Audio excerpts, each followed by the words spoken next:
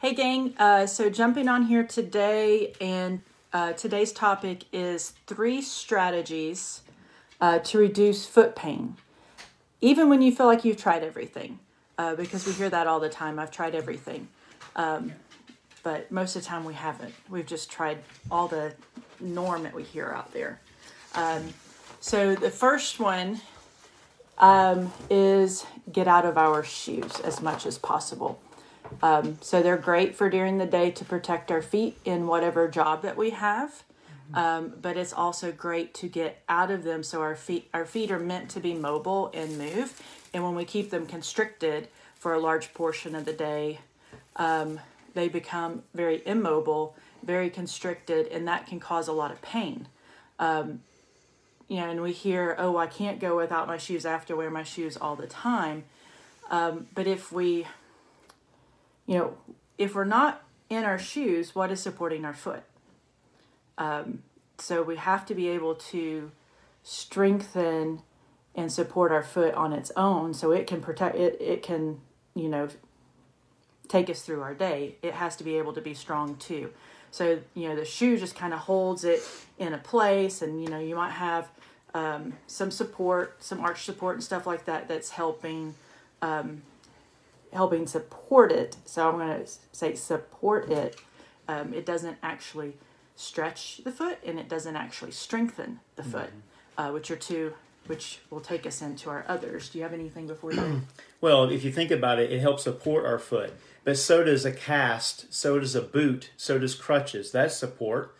But does that actually create, that gives you time to heal but then those that those apparatuses go away because what happens you heal and then you go back into like therapy strengthening exercises and things to get you back to where you no longer need crutches you no longer need boots you no no longer need those things for support because you're healed or you're back to where you need to be at. So you don't rely on them the rest of your life. So why would you need to have shoes for the, your entire life support you when actually your foot should be the thing that's supporting you on a daily basis. Shoes have their purpose, but is it beyond the purpose? Are we using them beyond the purpose that they're supposed to be used for? So then we'll go into the second one. So, second, because we're wearing shoes or doing things that constrict our feet, um, stretching and releasing, doing release techniques on our feet is very important to start getting that space that's needed back into the foot so that they're able to spread like they're supposed to. Um, releasing the tight ten- tense tissue and allowing the proprioception that we're supposed to have in the base of our feet. Um, you know, if we think about it, our between our foot and our ankle is over 25% of all the bones in our body. Um, so that tells me that those bones are supposed to be able to to move, right? And then on top of that, we have 7,000 proprioceptors, and that's what tells us where we're at in space and time. So if we have something, you know, talking about the foot is shoe again, if we have a foot or shoe on it all the time, we lose that proprioceptive ability. So doing stretching and release techniques helps get that back and also helps release anything that's uh, tensioned up because it's been held in place in a certain place the whole time. Mm-hmm. Yeah, and we have to think about it too. If if your foot is uh, bound up and, and and whatever apparatus you're using, you may call it that. Um, you know, there's things that's uh, the fa- fascia that runs through your foot. There's the the bones. There's the the muscles and tendons that run through the bones of your of your through your feet. And you think about it, that goes all the way across your big toe to your fifth toe. So you have all that that runs through there. If all that is restricted up into the arch and everything, I'm using this is like uh, like packaging paper here, and if that is like gnarled up and it's like this, in your foot somehow and twisted, um, that's going to affect the fun- function of your foot. So really, that should be smooth, smooth through your foot this way. But if it's twisted and wrapped up that way, uh, that's the hydration's not there in your feet. It's brittle. Um, the function of your ankle, um, how the bones will move and rotate, and how all that function is is going to be hindered.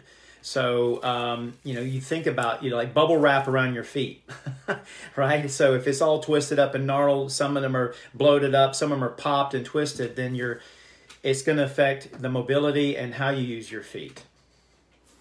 Susan, I see your question. I'll answer that right at the very end. Um, and some of this might explain that too.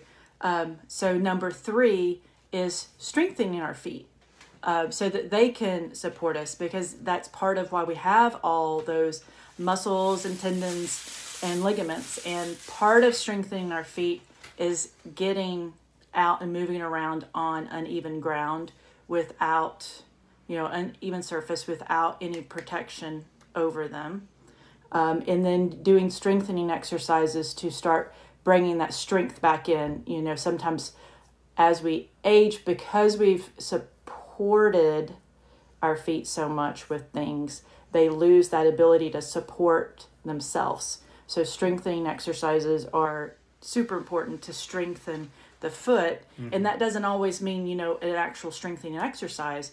Moving around on in our bare feet on various different terrain is strengthening exercise. Of course, we're not talking about walking on glass shards and and sharp rocks and hot lava and all the all these hot coals and stuff. We're not talking about that at all. So, um, you know, it's just getting the sensory touching. Like, what is what does walking through grass feel like to your feet, or in the in dirt? You know, in in terrain that that's you know not going to harm your foot, but it's actually going to give a that grounding effect and that that feedback. Your your feet, your body craves that. So if we're if we always got a barrier between it, then it's it's blocking off what our feet really should be connecting to. Sounds good. So, yeah. So that might answer part of your question on the um, babies and shoes, Susan. Um, we allowed our daughter to go as much as she could without shoes mm-hmm. when she was little. And, um, you know, of course, if she was going to be somewhere that that she needed a protection over the base of her foot, we would have that. But she had a very soft sole uh, shoe to where she could still feel her foot. Mm-hmm. Um, and if you notice, a lot of like baby shoes do have that soft sole, which is pretty much what when they first came out with shoes, what shoes were were just a leather covering over to cut to protect our feet from from the elements. Mm-hmm. And then over time, they've become something totally different, yeah. which has its purpose for certain things. Sure. Um, you know, not saying that they're not totally needed, but you know, yeah. they have a they have a purpose, um, and t- it's just making sure you know that they're the right type of shoe. I'll just tell my story real quick. I was I was working not too long ago. This was numerous months back. Um, I was loading concrete cinder blocks and pavers and stuff into a vehicle into a truck and I just got distracted just for just a brief moment and one of those pavers slipped off and come down and hit hit my foot and I was like I as soon as it hit I jerked my leg out but by then it luckily if I didn't move my foot it would have damaged maybe a little worse but luckily I reacted by pulling my foot out but it already hit it and I was wearing a boot so I was wearing a work boot so it's not like we don't it's not like we walk around barefoot going into Lowe's and yeah, Ace Hardware, places like that.